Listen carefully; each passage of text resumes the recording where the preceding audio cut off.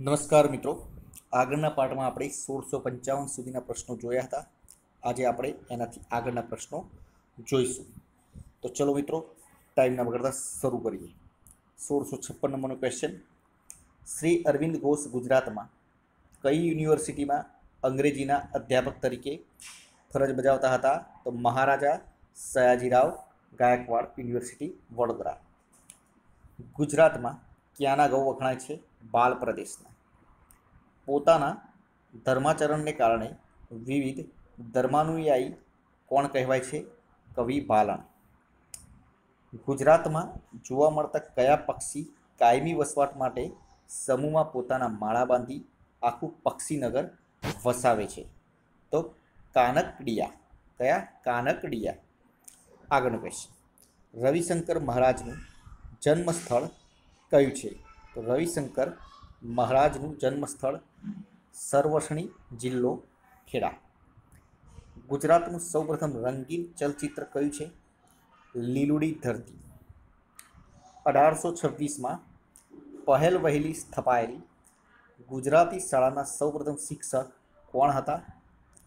દુર્ગારામ મહેતા. આટીરાના પ્રથમ સંચાલક કોણ હતા?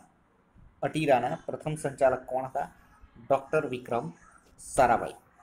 ભારતીય ક્રિકેટ ટીમમાં સૌથી નાની વયે સ્થાન પાપનાર વિકેટ કીપર, બેટ્સમેનનું નામ જણાવો, પાર્થિવ પટેલ. ટુવાના ગરમ પાણીના જરામાં કયું ખનિજ વિપુલ પ્રમાણમાં જોવા મળે છે? સલ્ફર. ગુજરાતી મૂળનો કયો ખેલાડી ઇંગ્લેન્ડની ક્રિકેટ ટીમમાં ઓપનિંગ બેટ્સમેન તરીકે રમતો હતો? વિક્રમ સોલંકી. કવિ નાકરનું વતન કયું હતું? વડોદરા, હિરણ્ય, કોસંબી અને ભીમાક્ષી નદીઓના. ત્રિવેણી સંગમ પર કયું શહેર વસેલું છે? ખેડ બ્રહ્મા. ગુજરાત શબ્દ કયા શાસનકાળમાં પ્રચલિત થયો? સોલંકી કાળમાં. હિન્દુ મુસ્લિમ એકતાના જ્યોતિર્ધર સંત કબીરના નામથી ઓળખાતો કબીરવડ કયા જિલ્લામાં આવેલો છે? તો જવાબ રહેશે ભરૂચ ખાતે આવેલો છે. ગુજરાતમાં સદાવ્રતના સંત તરીકે કોણ પ્રખ્યાત છે? જલારામ બાપા. કાકરા પર બંધ કઈ નદી પર આવેલો છે? તાપી. અસહકાર આંદોલન વખતે ઇન્દુલાલ યાજ્ઞિક ગાંધીજી સાથે કઈ જેલમાં રહ્યા હતા? તો પૂનાની યર, યરવડા જેલમાં રહ્યા હતા. ભારતનું સૌથી નાનું પક્ષી અભયારણ્ય ક્યાં આવેલ છે? પોરબંદર ખાતે. દક્ષિણ ગુજરાતની જમીન કેવા પ્રકારની છે? કાળી અને કામવાળી. શ્યામજી કૃષ્ણ વર્માએ ઇન્ડિયા હાઉસની સ્થાપના ક્યારે કરી હતી? ફેબ્રુઆરી ઓગણીસો પાંચમાં. ગુજરાતની અસ્મિતા શબ્દનો સૌ પ્રથમ પ્રયોગ કરનાર ગુજરાતી લેખકનું નામ જણાવો. કનૈયાલાલ મુનશી. ભટ્ટ વલ્લભ મેવાડાની પદ્ય રચનાઓ કયા નામે જાણીતી છે?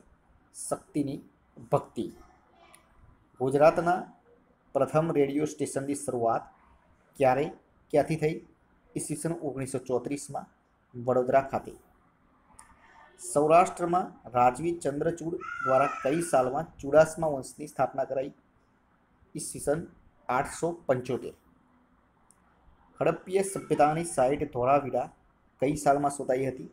ઈસવીસન ઓગણીસો સડસઠમાં. સોળસો બ્યાસી ગુજરાતી કવિતા ક્ષેત્રે મુક્તધારા અને મહાછંદનો સૌ પ્રથમ પ્રયોગ કરનાર કોણ છે? અર્દેસર ખબરદાર.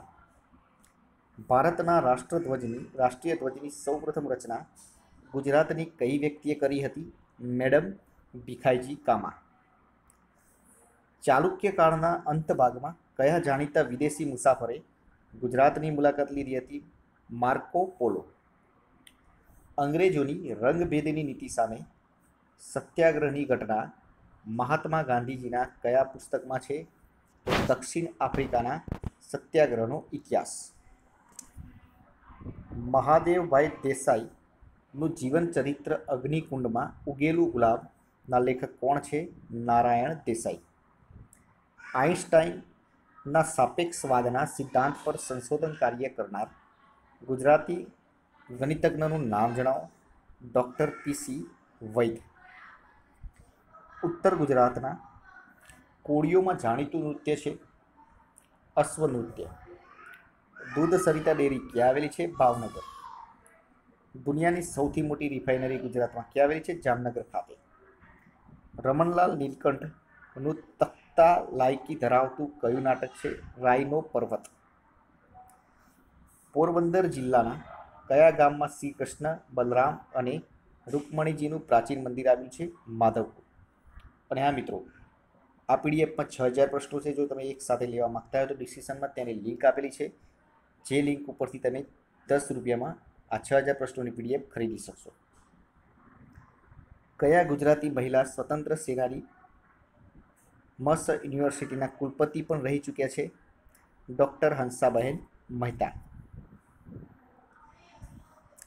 ભારતના ભૂતપૂર્વ રાષ્ટ્રપતિ એપીજે અબ્દુલ કલામ ઉપર કયા ગુજરાતી વૈજ્ઞાનિકનો વિશેષ પ્રભાવ હતો? ડૉક્ટર વિક્રમ સારાભાઈ. ગુજરાતમાં સૌપ્રથમ અનાથ આશ્રમની સ્થાપના કોણે કરી હતી? મહિપતરામ રૂપરામ. ગુજરાતમાં ભવાઈ મંડળીઓ કયા નામથી ઓળખાતી હતી? પેડા. ગુજરાતી ભાષાની પ્રથમ હાસ્ય નવલ આપનાર લેખક કોણ હતા? રમણલાલ નીલકંઠ.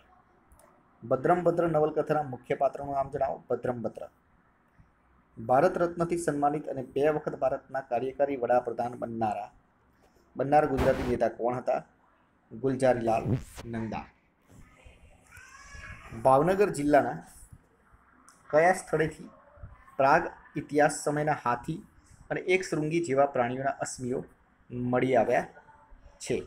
તો જવાબ રહેશે પિરમબેટ. ક્યાંથી? પિરમબેટ.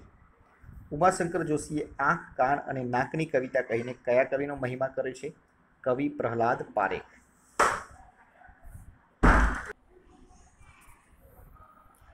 ગુજરાત કૃષિ યુનિવર્સિટીઓનું વડું મથક કયું છે? દાંતીવાડા. નરસિંહ મહેતાએ કોના પર હુંડી લખી હતી. સામણસા શેઠ શ્રી કૃષ્ણ પર. દક્ષિણ ગુજરાતમાં શેરડીનું વાવેતર શરૂ કરાવનાર ગુજરાતી કોણ હતા? દયારામ કુંવરજી પટેલ. ગુજરાતનું સૌપ્રથમ બાળ સંગ્રહ સંગ્રહાલય કયું છે? ગિરધરભાઈ બાળ સંગ્રહાલય, અમરેલી. તો મિત્રો, આજે આપણે સત્તરસો પાંચ સુધીના પ્રશ્નો સુધી રાખીએ છીએ. આગળના પ્રશ્નો આપણે આગળના વિડીયોમાં જોઈશું અને આ આ પીડીએફમાં છ હજાર પ્રશ્નો છે. જો તમે છ હજાર પ્રશ્નો ગુજરાત લેવલના છ હજાર પ્રશ્નોની પીડીએફ ડાઉનલોડ કરવા માગતા હોય, તો નીચે ડિસ્ક્રિપ્શનમાં તેની લિંક આપેલી છે, જે ફક્ત દસ રૂપિયામાં તમે છ હજાર પ્રશ્નોની પીડીએફ ખરીદી શકશો. દરેક પરીક્ષા માટે ઉપયોગી રહેશે. કાલે ફરીથી નવા વીડિયો સાથે મળીશું. જય હિન્દ, જય ભારત.